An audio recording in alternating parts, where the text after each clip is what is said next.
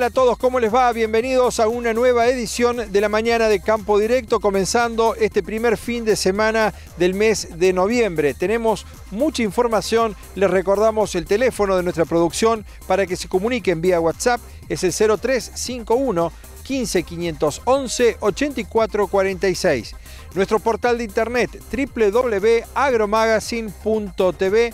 Estamos en las redes sociales, en Facebook, en Twitter y nuestro canal de YouTube Campo Directo TV. Los invitamos a compartir 15 minutos.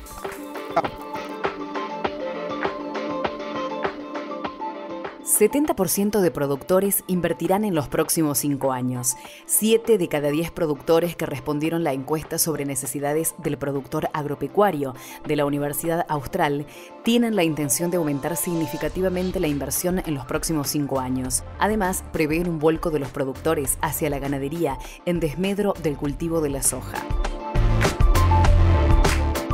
Dirigentes rurales piden a los senadores mantener la media sanción de diputados. La mesa de enlace se mostró cautelosa ante la media sanción de diputados que mantiene la exención en bienes personales a los inmuebles rurales. Los dirigentes esperan que los senadores ratifiquen lo dispuesto por la Cámara Baja.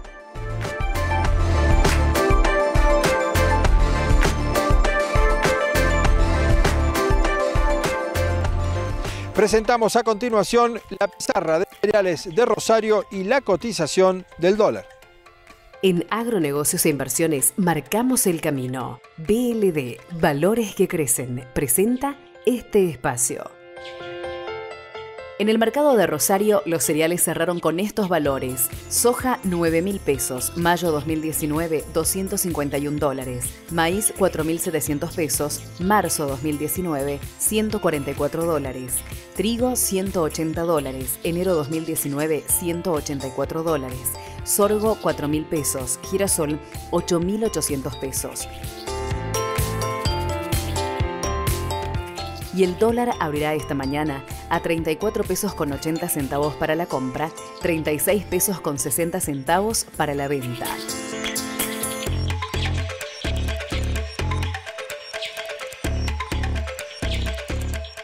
Una breve pausa en campo directo, ya volvemos con más información.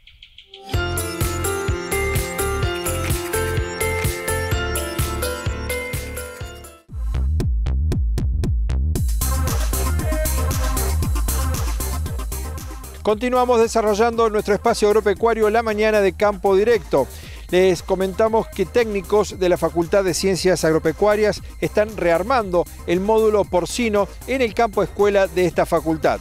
Estuvimos dialogando con el responsable de esta cátedra, el ingeniero agrónomo Daniel Caramelo.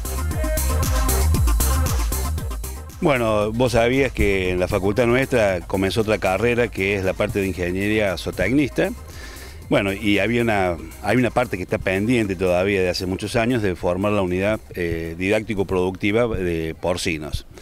Eh, ya prácticamente puedo decir lo que va a ser un hecho porque ya hemos hecho los contactos y ya se marcó el terreno donde se va a hacer la unidad y estamos ya en, en los preparativos de hacer otros tipos de proyectos para que eso se pueda plasmar. Bueno, vos sabés que la facultad como meta es la extensión entonces está pensado para pequeños productores, o sea, una unidad de 30 a 60 madres aproximadamente, o sea, son pequeños en función de lo que es la producción porcina a nivel nacional e internacional, pero con un efecto multiplicador, un poco la, extensión que uno quiere hacer y la experimentación dentro de esa unidad es poder transmitirle a los pequeños productores, donde la facultad tiene toda la influencia, prácticamente toda la provincia de Córdoba y hacia el norte también, para que se copie algún modelo que no sea de tan altas inversiones y que tengas la rentabilidad en función, por supuesto, de la eficiencia productiva. Es un modelo como que ha venido, o sea, la producción de cerdo ha evolucionado y ha ido cambiando en los últimos, en los últimos años, en las últimas décadas.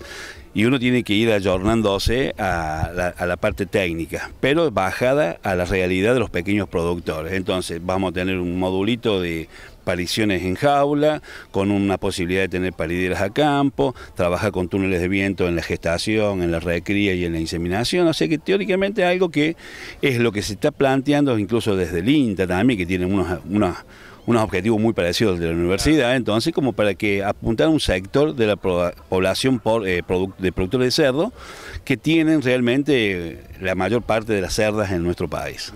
Mira, yo creo que se va los chicos que estén cursando agronomía y zootecnia se van a encontrar con una unidad productiva que se puede multiplicar, donde se va a poder hacer algo de experimentación, donde va a ser, eh, por ejemplo, la parte técnica, desde inseminación a destete precoz, eh, eh, todas las técnicas que teóricamente hoy lo pueden hacer los criaderos grandes, pero que también se puede aplicar a un sistema de baja inversión. Bien. ¿Esto eh, en qué etapa estamos ahora y cuáles son los próximos pasos? Mira, estamos en la, etapa inicial, o sea que ya está el decano nuestro, Marcelo Conrero, junto con el secretario del campo, el ingeniero Loza, ya tienen todas las intenciones de ponerlo en funcionamiento lo antes posible. Estamos primero eh, delimitando el predio y haciendo lo, lo, que va a ser la primera etapa, lo que es el alambrado perimetral, para evitar de que pase algo raro, ¿te das cuenta? Como eso, vos sabés que están las unidades experimentales también y no queremos que los cerdos en algún momento, por algún motivo, se vayan del lugar que tienen que estar. Y bueno, yo calculo que ya para el año que viene va a ser un hecho de que ya está funcionando. Eh, la idea es inicialmente trabajar con 36 madres para llevarlo después a 60. Entonces, todo en su etapa para que la gente pueda ir viendo cómo puede ir creciendo un criadero y ya hicimos contacto con varias empresas de nutrición, de instalaciones, donde están interesados en participar. Eh, mostrar sus productos y bueno y hacer como un acuerdo seguramente con la universidad para que tengan un efecto multiplicador y para que cada uno después pueda decir qué es lo que puede hacer, ¿se acuerdan?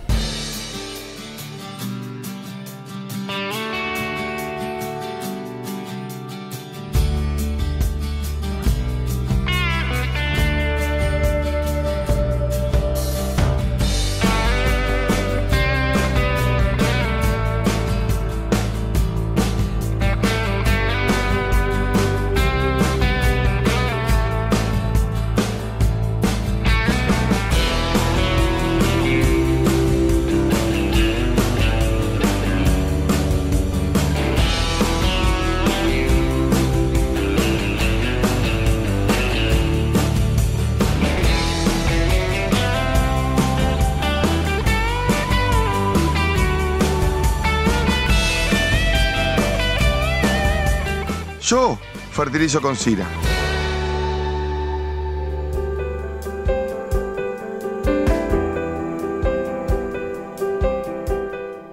A continuación, como todos los días, la agenda, las principales actividades del agro previstas para los próximos días.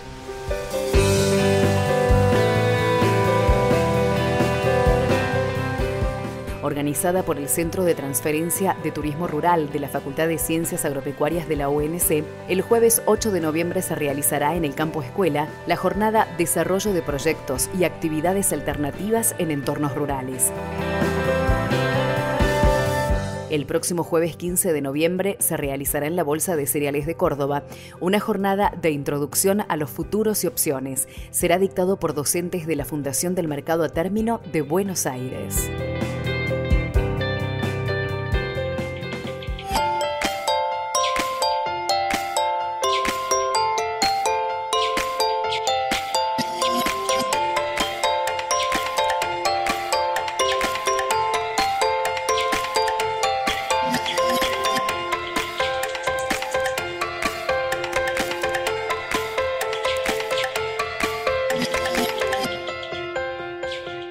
Y como todos los viernes, les presentamos a continuación los principales titulares que desarrollaremos en nuestro programa Campo Directo mañana a partir de la hora 11. La Facultad de Agronomía de la Universidad Nacional recupera su módulo porcino. Más presión impositiva para el campo. Analizamos lo que tributará la producción el próximo año. Roijo cumplió 25 años y lo festejó en su agencia de Pilar. Compartimos los recuerdos de una verdadera empresa de servicio sustentable. Expo Villa 2018 se consolidó como una creciente y convocante muestra. Villa del Rosario y su región vivieron tres días a pleno campo. El cuadragésimo Congreso Nacional de Horticultura se realizó en Córdoba, testimonios, vivencias y tecnología de un sector que dinamiza las economías regionales. Todo esto y mucho más aquí en Campo Directo. Muy bien, y esto ha sido todo por hoy. Agradecemos vuestra compañía. Nos reencontramos con todos ustedes mañana a partir de las 11 de la mañana en nuestro programa semanal Campo Directo. Muchísimas gracias y que pasen un excelente fin de semana.